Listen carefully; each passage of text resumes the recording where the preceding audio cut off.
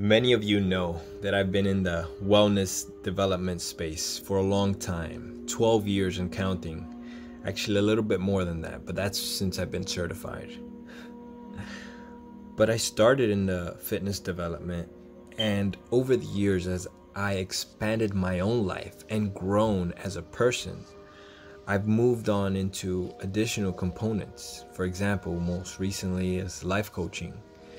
And the reason for that is because I've learned and understood how powerful this is in terms of someone's development. And in that, there's something powerful because honestly, I don't believe that it's a separate department of your life, it's not a separate section.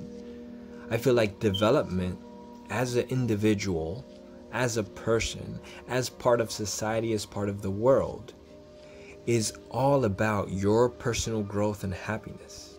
These are different components, sure, but they go hand in hand. Hence why Vida Project has become the company that it is today. But fitness still remains as the foundation. Because I believe that fitness is the bedrock of your growth and your happiness. And I say that because I, personally, have lost my fitness many times.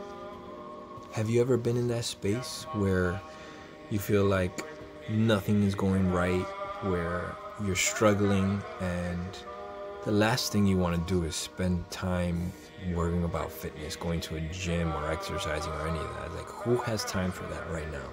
Have you ever been there? Or are you there right now? I've been there myself many times. About four years ago, I lost a close and dear friend. Many of you knew her, Arlene. And in that loss, I'd experienced a lot of grief, a lot of challenges in my own heart. Because this was someone that I cared about deeply someone that I used to train, someone that I used to spend a lot of time with, not only from the business aspect, but from the family aspect. She used to hang out with my son 24 7, would take care of him a bunch of times, and he loved her. And my wife, this was like her sister. And I loved her very much. After that loss, I was left in peril. Couldn't focus on anything. My fitness was suffering, obviously, but my business as well was suffering because I had to take a step away from it. And obviously, that led directly to my financial situation, which then started suffering dramatically, like out of nowhere. It seemed like everything hit at once. I remember collections companies calling me. I remember the fear of what is my family gonna do? What is my my baby son gonna do? My newborn daughter gonna do if I'm unable to provide for them? That pressure that you feel of responsibility. What is my wife? Can my wife handle this by herself without me? Because like I'm useless right now. And the problem was that she kind of was too. She lost, like I said, her sister. During all of this, I looked at myself, I looked at my situation, I looked at the stories I was playing within my head, and I started to look for hope, some sort of potential where I can I can come out of, but I couldn't. I felt like I was just drowning, starving. And then I started turning into what I knew, what I had been shown over and over in my life, which was fitness. Fitness was that bedrock. And it was very hard. I was not motivated at the time. I did not want to do that. I needed to make money. I needed to provide for my family. I needed to grieve. I needed this. But fitness seemed to be the right move just out of instinct. And I began running. And to me, that running at first was a horrible experience. I was like, why am I wasting my time? I don't have time for this. I don't have room in my life or energy for this. But as I continued, I pushed through that. I pushed through that discomfort and, and try to see what's on the other side. I started to build myself back up again. And it was it was seamlessly it was like I, I wasn't even able to see it at the time. I wasn't able to see the connections. The more i was able to run the more i was able to do with my day the more i was able to elevate my mood the more i was able to become productive to become proactive and affect change in other aspects of my life and not only that but elevate and lift others around me like my wife who was also suffering and going through a very hard time. All of this because of the fitness.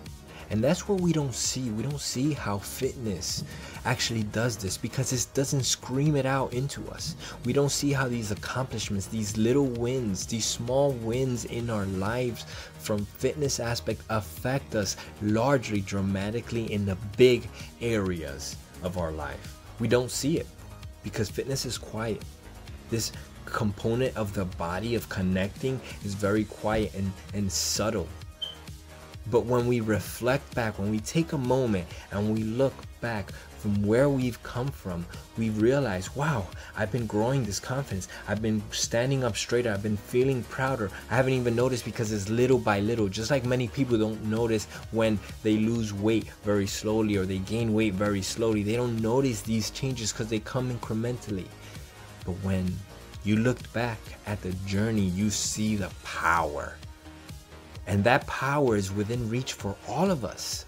This is development. This is strength. This is how we can become empowered in our own lives and affect so many other things. Now you layer that that fitness component that we all have the potential for, that we all have the drive for, somewhere deep down inside of us. If we look into that, and we work that out, we can start building a platform for the tallest pyramid. And we layer that up in terms of our minds because that fitness starts affecting our mind, starts affecting all the categories in our lives. It starts first affecting our intellect. We're able to learn and be present more because of the fitness. And this is this is proven by science. When we exercise, our brain becomes more active. It literally lights up and creates new connections of cells and grows cells so that we can remember and learn new things. Other aspects of, of our love, our compassion, our, our social life are all directly affected, affected by this platform. And it's within reach for all of us, it's within reach for you, it's within reach within us. We just need to take the moment and tap into it. If you are willing to tap into that potential, that fire that's within you, and light it up with fitness, then you can start building up other aspects of your development.